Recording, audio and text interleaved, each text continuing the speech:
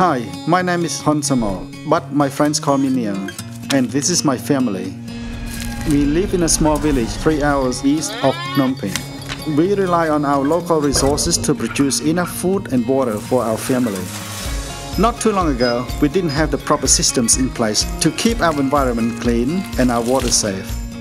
We were growing our own vegetables but could not produce enough for our livelihood, so we would need to purchase food from the market. This would often make my family sick from the harmful chemicals. Thanks to TEAR Australia's partner, we now have a village development association they helped us create a better environment for our community by teaching us how to manage our water and how to use natural fertilizers that no longer make us sick. My hope for tomorrow is to see our dams deeper and more people growing their own vegetables to not only save money but to improve their livelihood.